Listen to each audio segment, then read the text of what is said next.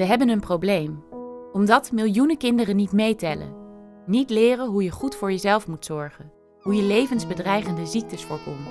Die later geen eigen inkomen gaan verdienen en die daarom worden buitengesloten. Miljoenen meisjes die niet voor zichzelf leren opkomen, met alle gevolgen van dien. Zij krijgen te maken met uithuwelijking, besnijdenis en uitbuiting. Miljoenen kinderen die geen kind mogen zijn. Kinderen die later hun eigen kinderen niet naar school kunnen sturen. Wat is er aan de hand? 61 miljoen kinderen wereldwijd gaan niet naar school. Van alle kinderen die wel naar school gaan, stoppen 120 miljoen leerlingen te vroeg, voor de vierde klas, met school. 130 miljoen kinderen zitten op school, maar leren hier veel te weinig, omdat het onderwijs slecht is.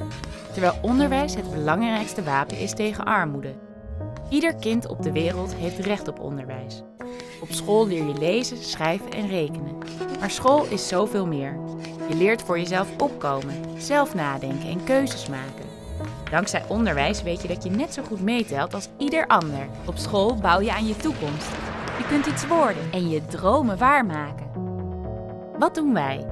Wij zorgen voor goede scholen, voor goed onderwijs, zodat kinderen hun school afmaken en daar alle vaardigheden leren die ze nodig hebben voor de toekomst.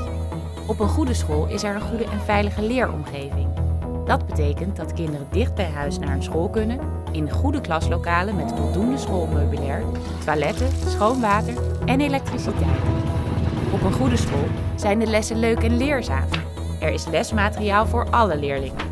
Je leert er goed lezen, schrijven en rekenen, maar kinderen leren ook hoe je met elkaar omgaat en krijgen les over hygiëne, gezonde voeding en seksualiteit, zodat ze voorbereid zijn op het leven na school.